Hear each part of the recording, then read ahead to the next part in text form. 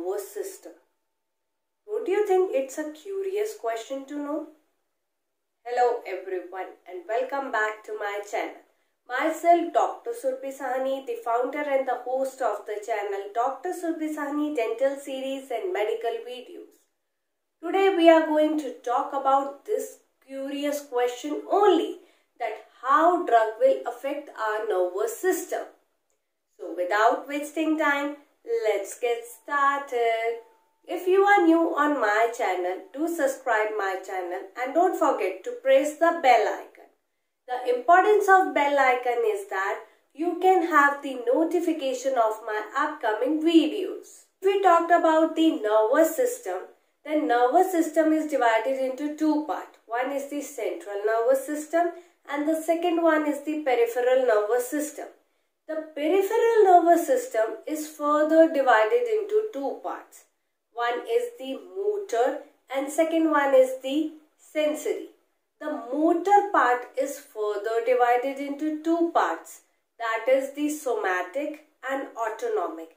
So here come the rule of two that first the nervous system is divided into two parts as CNS and PNS.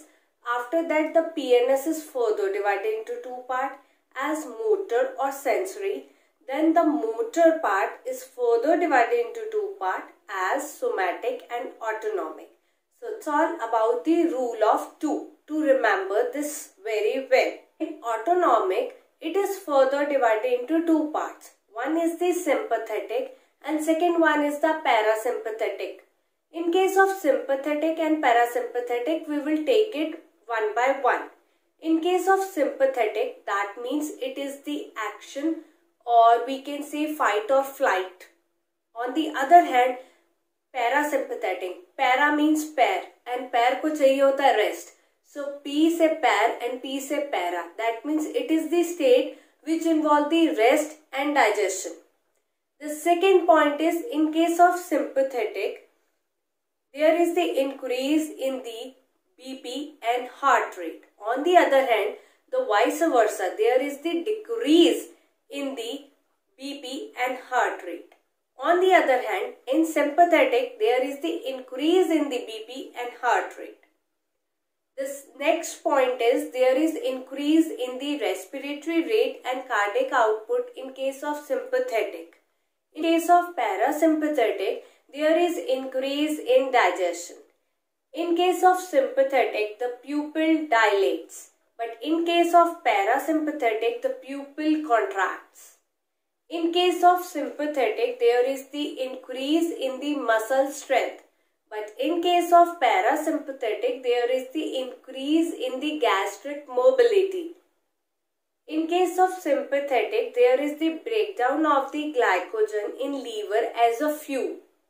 In case of parasympathetic, there is no breakdown of glycogen. On the other hand, there is the conservation of the energy which is produced by the digestion of the food. If we talked about the neurotransmitter, so in case of sympathetic path, the neurotransmitter is epinephrine, norepinephrine or dopamine. On the other hand, in parasympathetic, the neurotransmitter is acetylcholine. On the other hand, if we talked about the receptors in both the pathways, then the receptors in case of sympathetic pathway is adrenergic. And on the other hand, in case of parasympathetic, it involves the cholinergic. The last part is the agonist and antagonist. In case of sympathetic, the agonist is vasopressor and the bronchodilators. Vasopressor include dopamine, epinephrine and norepinephrine.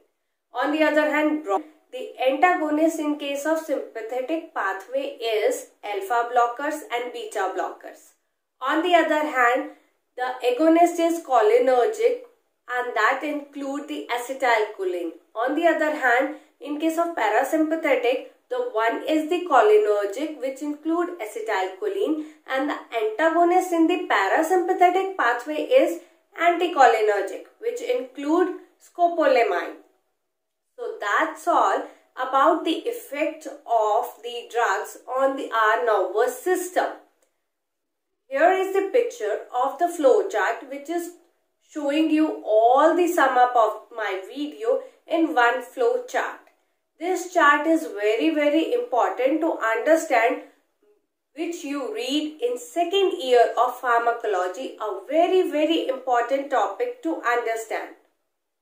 Hope you like this video very well and if you like this video press the like button and even you can comment down the video which you want on my channel.